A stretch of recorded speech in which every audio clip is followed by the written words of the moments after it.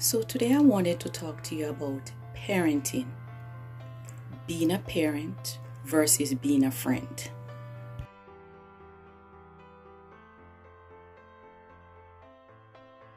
So, a little backstory for those persons who are new to my channel. I am a mother of three children one girl and two boys. However, my daughter passed away in 2013. Hence, I am what you call a boy mom. So, my second born is 16 years old. He's in high school and he's in grade 11. My youngest is 7 years old. He's in grade 2 at the elementary level. Without further ado, let's get into this video.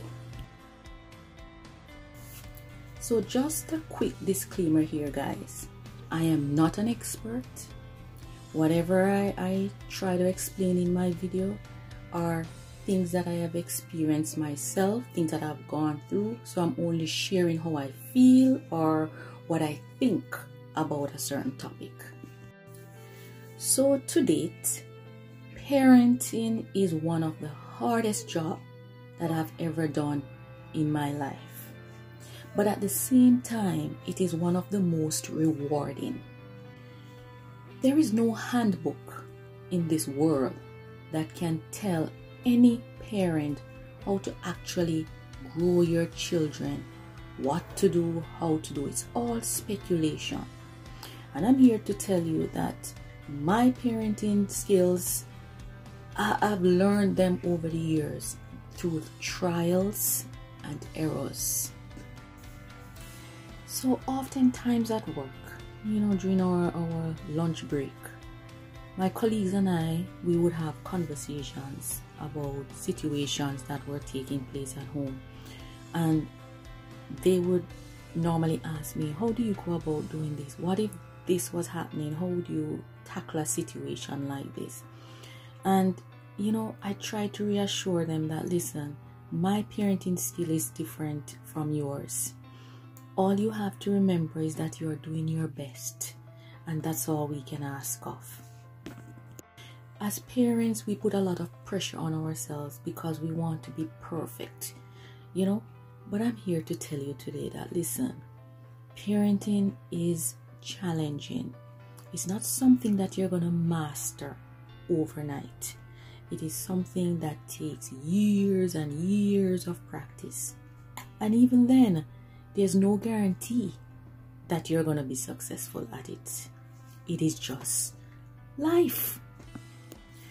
So when I became a mother, I made a vow to myself that when I have children, my parenting strategies would be different from the ones that I saw growing up as a child.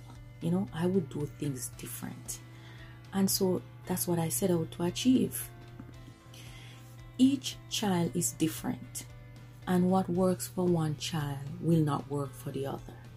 So, mind you, you can't use a strategy that worked, say, five years ago with one child and think that it's gonna work No, The generation changes, all right? So, different approach is needed when it comes to that. So, being given the opportunity to become a mom is not something that I take lightly. And I always say to my friends and my colleagues and whoever will listen that my number one job, first and foremost, is to be a parent, not a friend, but a parent. My job is to nurture, my job is to protect and discipline my children with love. My children know that when they step out of line, there are consequences for their actions. So there's no sugarcoating when it comes to being a parent. There's the good, the bad, the ugly. All right. So every day it's a struggle to do what is right. Every day I try my best to instill certain values, certain attitudes, certain morals that I see that are slippery being eroded in society. I have to ensure that my boys have these values, have these attitudes, have these have this foundation so that when they become adults themselves, they can be a part of the solution and not a part of the problem that we see happening in society. It all starts at home, and we all have to play our part, you know. So at the end of the day, we just have to do what we have to do. My children may not like to be disciplined, but I'm not here to be their friend. I strive to have a good and open relationship with my children. They know they can talk to me about anything. All right? And regardless of the fact that they have to be disciplined when when they step out of line, they know that it's a part of life. They too are going to become fathers. They're going to become husbands in the future. So all the values that has been instilled in them, it is the foundation that they can use when they have a family of their own.